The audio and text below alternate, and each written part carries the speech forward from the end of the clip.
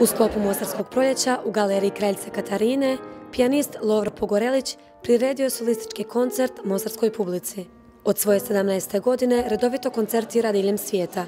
S orkestrom ili solistički ostvaruje pijanističke kreacije i uvjerljive snage. E, jako sam zadovoljan i pa dobro, naravno, ovo nije moj prvi put u Mostar, dolazim tu recimo redovito ovako, ali već prvi put sam bio kada sam imao 15 godina. Znači, Mostar mi je, osjećam se kao doma tu i to. Nema nepoznanica nikakvih u Mostaru.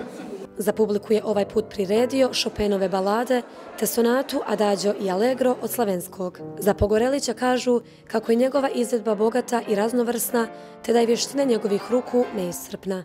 U proljeće 2012. na danima hrvatskog filma prikazan je glazbeni spot slike s izložbe Lovre Pogorelića, autora Zorana Vuletića. Za mlade pijaniste poslao je jednostavnu, ali snažnu poruku. Vježbajte i trudite se.